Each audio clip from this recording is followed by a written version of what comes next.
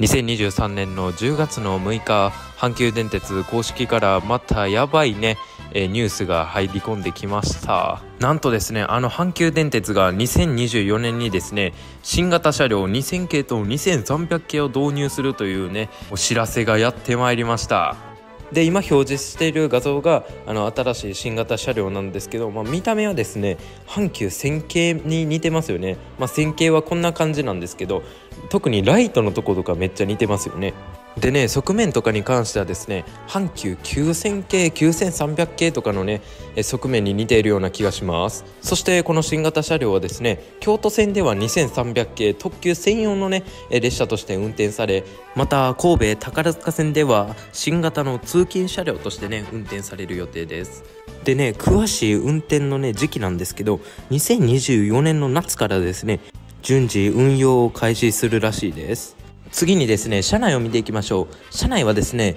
9300系の転換クロスシートと全く変わらないね車内となっておりましてでこれまたびっくりな話なんですけどこの京都線の特急車両2000系ではですね大阪方面から4両目になんと阪急電鉄初の座席指定サービスを導入する予定なんですよね。これまたびっくりですよね。JR 西日本ではですね A シートという有料座席がございますがついに阪急電車でもですねあの座席指定サービスがスタートすると。いや本当にすごいことだと思います。続いて2000系の車内になります。この2000系はですね、まあ、先ほども言った通り宝塚神戸線でですね通勤車両として走る予定でございます。なのでね大量のお客さんを乗せるのでこういうねあのロングシートになっております。さっきはですね横並びじゃない縦並びのねあの黒シートだったんですけどこれは横並びの、はい、ロングシートとなっております。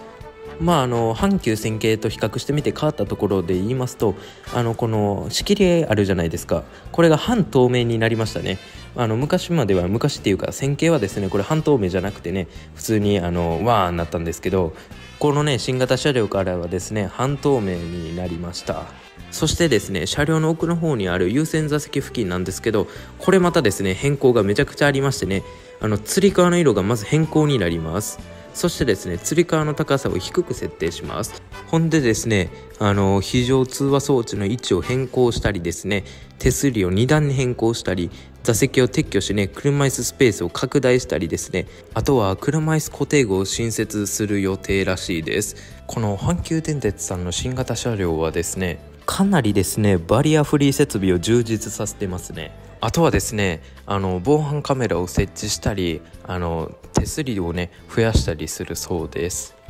僕がねちょっと一つ気になっていることがございましてこの阪急電鉄新型車両2300系が導入されるとですね京都線を代表する特急9300系はですね果たして引退するのかそれとも継続してまだ運転されるのかっていうのがねちょっと気になりましたね。最近の電車はですね20年から30年走れば良いっていうね考えでね作られておりましてねこの新型車両が登場するとですねこの20年も運行している9300系はねもうどうなるのか気になりすぎて今夜も眠れます。さて今回はですねまあいろいろと喋ってきたわけなんですけど阪急電鉄はですね2024年の夏に2300系京都線専用特急と